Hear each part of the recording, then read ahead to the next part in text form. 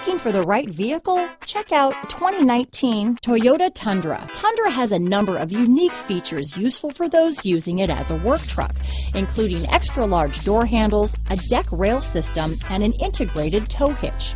Included as standard are vehicle stability control, traction control, electronic brake force distribution, anti-lock brakes, and tailgate assist.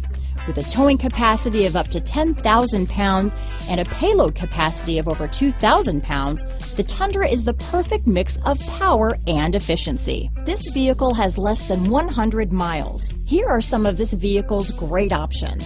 Traction control, navigation system, power passenger seat, dual airbags, leather wrapped steering wheel, power steering, four-wheel disc brakes, compass, fog lights, heated front seats, CD player, electronic stability control, rear window defroster, security system, power windows, trip computer, brake assist, panic alarm, overhead console. If you like it online, you'll love it in your driveway. Take it for a spin today.